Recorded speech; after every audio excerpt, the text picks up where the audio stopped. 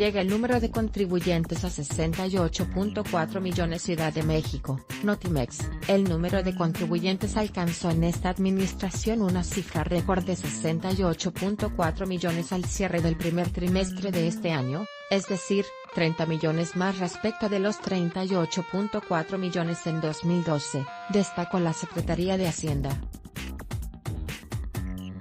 La dependencia encargada de las finanzas públicas señaló que este nivel máximo de personas y empresas que pagan impuestos es resultado de la reforma hacendaria implementada en la actual administración.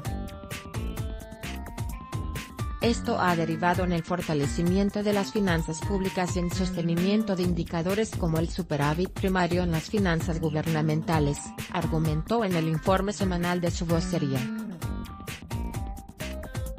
El aumento de la base de personas físicas y morales registradas en el Servicio de Administración Tributaria, SAT, se derivó de diversas disposiciones fiscales del uso de medios electrónicos como mecanismo de inscripción al registro de contribuyentes.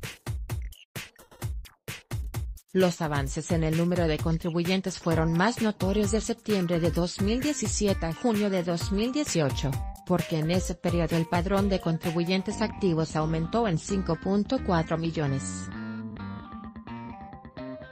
Con ello, al término del primer semestre de 2018 ya había registrados ante el SAT 68.4 millones de contribuyentes, frente a 63 millones fiscalizados hasta septiembre del año pasado, expuso la Secretaría de Hacienda.